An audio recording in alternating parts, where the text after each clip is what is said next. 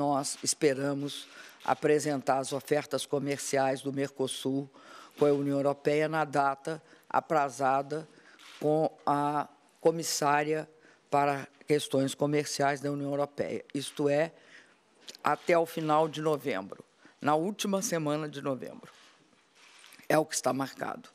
E acreditamos, é, somos muito otimistas em relação a esse acordo.